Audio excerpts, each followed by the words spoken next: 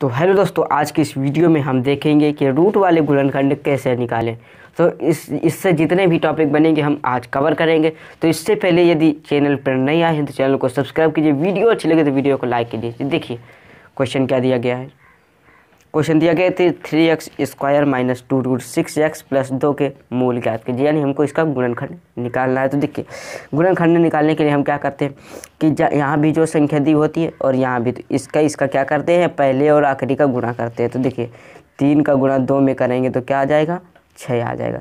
यानी अब देखिए कि यहाँ पर प्लस का है? तो इससे ये पता चला कि गुणा करके छः आना चाहिए और जोड़ करके टू रूट सिक्स एक्स आना चाहिए। तो देखिए कैसे लाएँगे?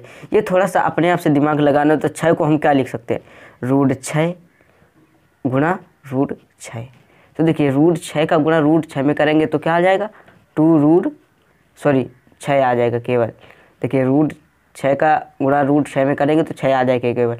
और यदि रूट छः और प्लस रूट छः जोड़ देंगे तो क्या हो जाएगा?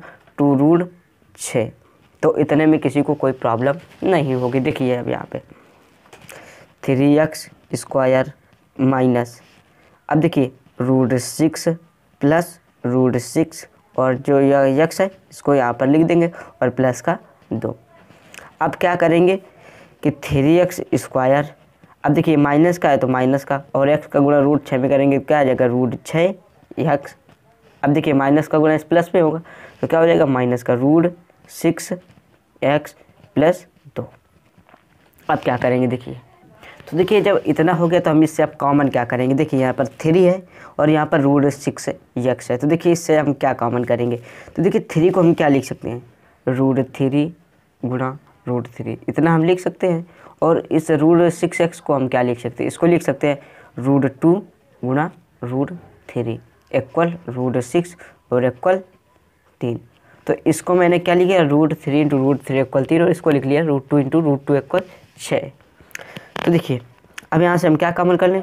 रूट थ्री और एक्स स्क्वायर और यहाँ पर यक्स है तो एक यक्स कॉमन कर लेंगे। तो देखिए, यहाँ पर रूट थ्री एक्स जब कॉमन हो गया तो यहाँ पर क्या बचेगा? रूट थ्री एक्स माइनस अब यहाँ पर देखिए रूट थ्री एक्स कॉमन हो गया तो यहाँ पर क्या बचेगा?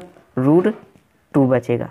देखिए, यहाँ पर ये निकल गया तो यहाँ पर क्या बचेगा? रूट टू बचेगा। अब इसी तरह माइनस अब इसमें देखेंगे तो यहाँ पर देखिए कि दो है और यहाँ पर रूट सिक्स एक्स तो देखिए यहाँ से क्या कॉमन करेंगे। यहाँ पर इसको हम क्या लिख सकते हैं? दो को। तो रूट टू गुणा रूट टू बराबर दो। इसी तरह हम छः को क्या लिख सकते हैं? रूट टू गुणा रूट थ्री बराबर छः तो इससे हम क्या कर लेंगे? रूट टू कॉमन कर लेंगे। तो रूट टू मैंने यहाँ पे कॉमन कर लिया। तो देखिए, जब माइनस का रूट टू कॉमन कर लिए तो यहाँ पर क्या बचेगा? यहाँ पर बचेगा रूट थ्री और यक्स है तो यक्स बचेगा प्लस। अब यहाँ पर देखिए, इस दो से रूट टू निकल गया तो यहाँ पर क्या बचेगा? रूट टू केवल बचेगा तो रूट टू। अब देखिए, इस माइनस का गुणा इसमें होगा तो ये माइनस का हो जाएगा। अब देखिए, ये ये मिल रहा है तो इसको कॉमन कर लेंगे तो three x root three x minus root two, और एक बचा। Root three x minus root two. अब देखिए, इसमें सभी में ज़ीरो है, क्योंकि कह रहा है मूल ज्ञात कीजिए। इसका मैंने गुणन खंड तो कर लिया, अब इसका मूल निकालने के लिए क्या करेंगे? इसको लेंगे पहले तो root three x minus root two equal zero तो देखिए रूट थ्री एक्स इक्वल ये माइनस का रूट टू जब इक्वल के उससे हट जाएगा तो प्लस का रूट टू तो यक्स बराबर आ जाएगा रूट टू बटे रूट तीन। तो एक आ गया मूल, हमारा रूट टू बटे रूट तीन। अब इसी तरह इसको भी निकाल लेंगे। तो root three x minus root two equal zero तो ये सेम सेम है।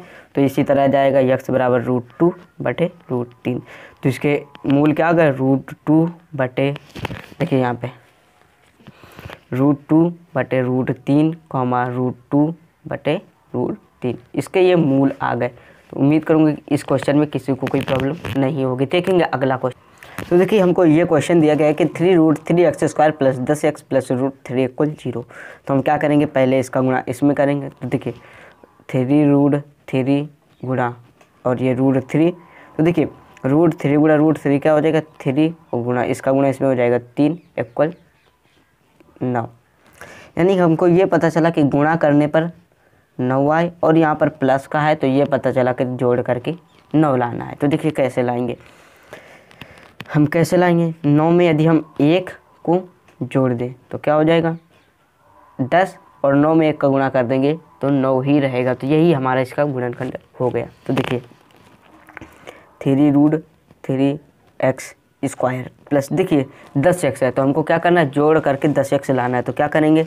नौ प्लस एक तो नौ एक कितना हो गया? दस, और ये यक्स प्लस, ये रूट थ्री एस ये देखिए, अब गुणा करके हमको कितना लाना है? नौ। देखिए, इसका गुणा इसमें किया तो कितना है? नौ। तो ये पता चला कि गुणा करके नौ और जोड़ करके हमको दस लाना है। अब देखिए three root, three x square plus x का गुणा नौ में करेंगे, नौ एक्स प्लस एक्स का गुणा एक में करेंगे एक्स प्लस रूट थ्री। अब देखिए, यहाँ से क्या कॉमन हो रहा है? यहाँ से थ्री यक्स तो यहाँ से थ्री एक्स मैंने क्या किया? कॉमन कर लिया। तो यहाँ पर क्या बचेगा? Root three x plus three. देखिए अब यहाँ पर यहाँ पर three root three x square और यहाँ पर प्लस का नौ एक्स है। तो नौ को हम क्या लिख सकते हैं? तीन गुणा तीन। और इस तीन को हम क्या लिख सकते हैं? रूट थ्री गुणा रूट थ्री तो देखिए थ्री रूट थ्री ये मिल गया और ये एक रूट थ्री ये बचा है। तो देखिए, यहाँ से थ्री रूट थ्री और साथ में एक्स स्क्वायर यहाँ पर एक्स है तो एक्स कॉमन कर लेंगे। तो three root three x common कर लिए तो यहाँ पर क्या बचेगा? एक्स प्लस यहाँ पर क्या बचेगा? रूट थ्री इसी तरह प्लस का, यहाँ से एक कॉमन होगा। जब कुछ नहीं होता है तो एक कॉमन होता है और यहाँ पर बचेगा। ये जो बचा है वैसे ही लिखा रहेगा x plus root three x plus root three x plus root three मिल रहा है तो एक्स प्लस रूट थ्री अब यहाँ पर क्या बचा three root three x plus one तो ये हो गया इसका गुणनखंड तो उम्मीद करूँगा कि आज के इस वीडियो में किसी को कोई प्रॉब्लम नहीं होगी। आज के इस वीडियो में इतना ही। फिर मिलेंगे अगली वीडियो में। जय हिंद दोस्तों।